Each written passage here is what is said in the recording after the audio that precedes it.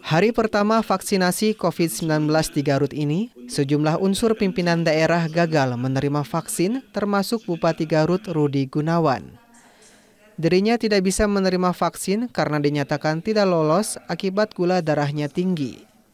Selain Bupati Garut, sejumlah unsur pimpinan daerah lainnya juga tidak bisa menerima vaksin COVID-19.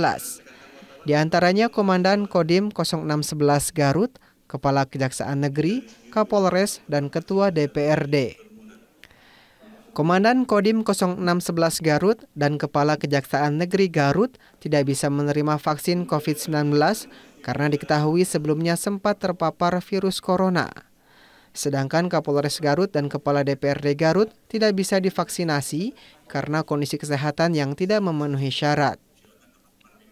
Di antara unsur pimpinan daerah yang bisa divaksinasi hanyalah Wakil Bupati Helmi Budiman dan Kepala Pengadilan Negeri Garut. Setidaknya ada delapan orang lainnya yang mendapatkan vaksinasi COVID-19. Mereka yang mendapatkan vaksinasi berasal dari sejumlah kalangan, mulai tokoh agama, pemuda, hingga perwakilan pengusaha di Kabupaten Garut. Bupati Garut memastikan bahwa vaksinator yang bertugas terlatih dan mengajak masyarakat agar tidak takut divaksin.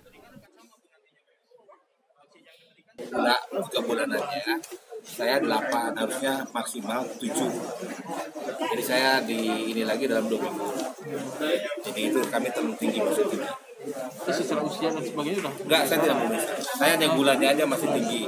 Jadi harusnya 7, di sini ini 7,5 saya lebih. Ya lebih. Saya lebih.